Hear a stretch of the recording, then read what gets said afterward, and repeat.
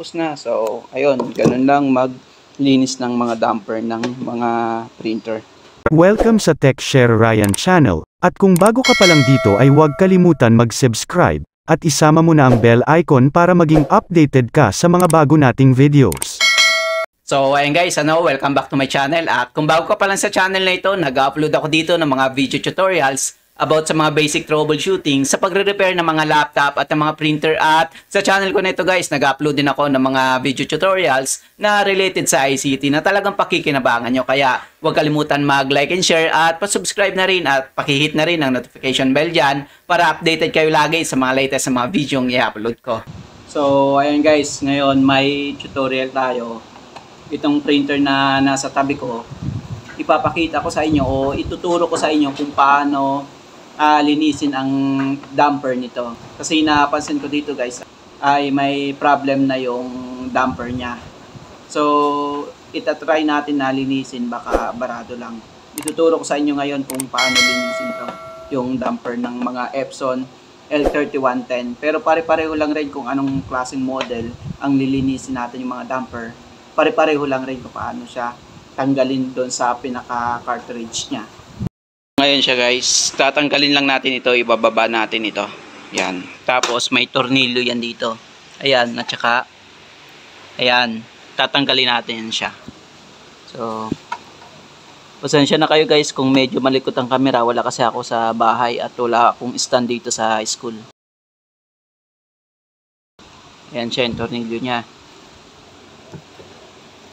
Then dito rin sa kabila.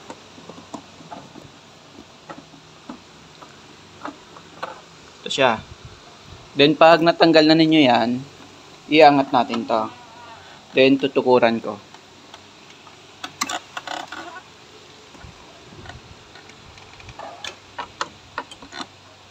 Ito guys, tinukuran ko na. Yan. Then, ito, nasa gitna siya. Palagi yan siya dito na sa ah, base niya. Ayan, yung head. Kapag nakalock ito, yung white na yan, hindi ninyo ito mauurong. Ang gagawin lang ninyo, iikot ninyo ito. Yan, ikot ninyo papunta sa inyo. Then, pag naikot ninyo, bababa yung lock na yan na white na yan, may iurong na ninyo yung head. Yan, sa gitna.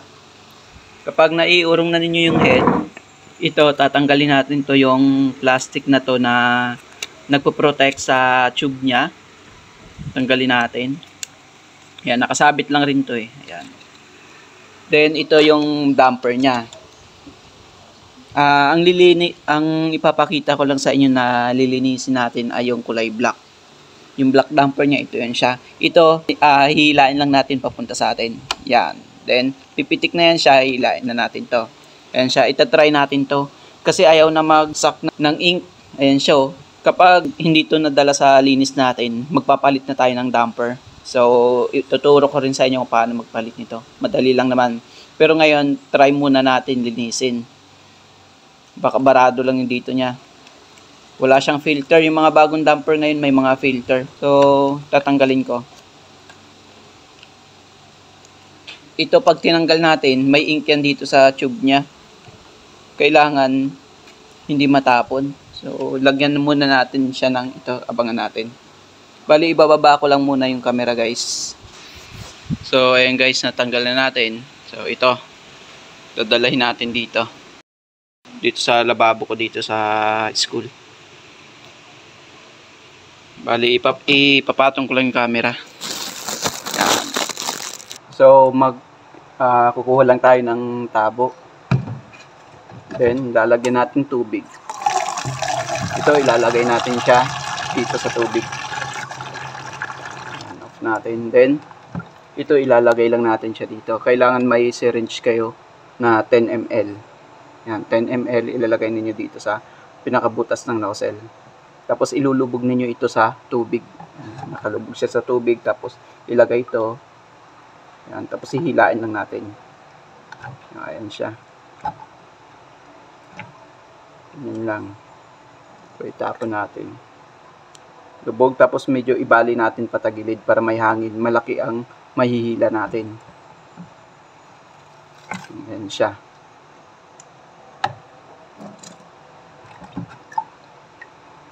Yan. Then, lubog natin sa tubig. Medyo patagilid. Yan. Kung nakikita nyo guys, nalilinis na siya. Loob niya. So, ganyan lang maglinis ng mga damper. So, may tubig pa. Hilain lang natin yan. Kukunin natin. Kasi, ah papalitan na rin natin ng ink yan. Ilalagay lang natin yung tube dito. Sabay, hihilain lang rin. Ink na yung mahihila niya. So, ito ngayon guys. Ito yung parang nozzle niya na yan. Yan, nakalusot itong tube niya na to. Yan. Ilulusot lang rin natin. Na siya guys, oh. Nalusot ko na siya. Yan.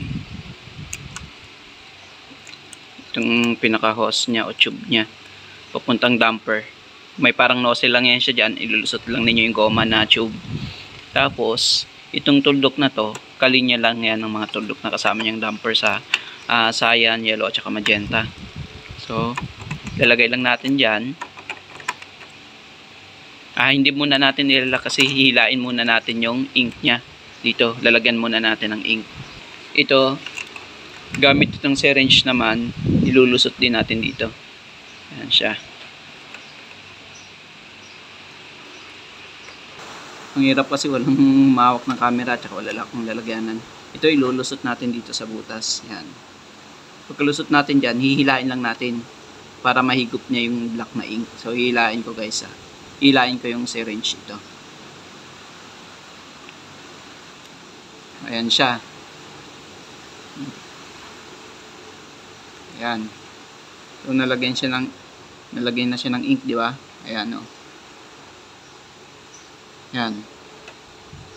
So, kailangan mapuno to. Wala, wala dapat bula-bula ito. Ayan na siya. Yan. Okay na guys. Ayan na siya. So, ibabalik na natin ito doon sa kanyang sa cartridge. So, ito pwesto niya ay pag ganyan. Then, diin lang natin. Yan. Tapos, ito iayos lang rin natin yung hose niya. Yan. Then, itong plastic niya na nagpo-protect sa tube.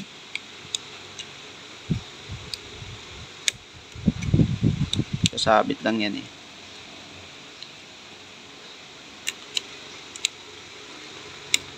So, ayun guys, tapos na. Tapos, bababa na lang natin to.